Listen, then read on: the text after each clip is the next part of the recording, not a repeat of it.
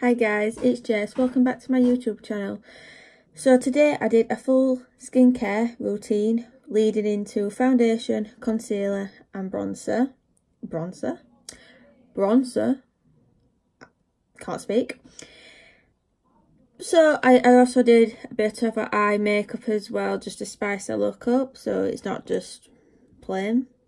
But I can also do what I actually do um, everyday makeup, which is my usual everyday makeup is usually just plain with no eye makeup.